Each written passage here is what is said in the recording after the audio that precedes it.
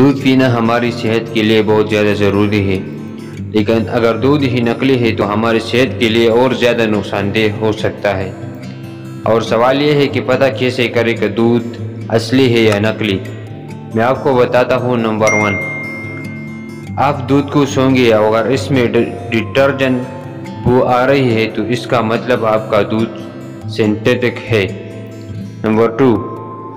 जो असली दूध होता है स्टोर करने पर वो रंग नहीं बदलता, जबकि नकली दूध स्टोर करने पर कुछ ही वक्त में पीला पड़ जाता है। और तीसरा तरीका है कि आप दूध के कुछ बूंदे लें और उसे चिकनी लकड़ी या फिर चिकनी पत्थर पर टपकाए। और अगर वो बहते हुए सफ़ेद दार बनाए तो इसका मतलब ये है कि आपका दूध असली है। अब आपको पता लग गया होगा कि दूध की जाँच कैसे करनी है, सो ये नॉलेज दूसरे के साथ शेयर करना मत भूलिएगा।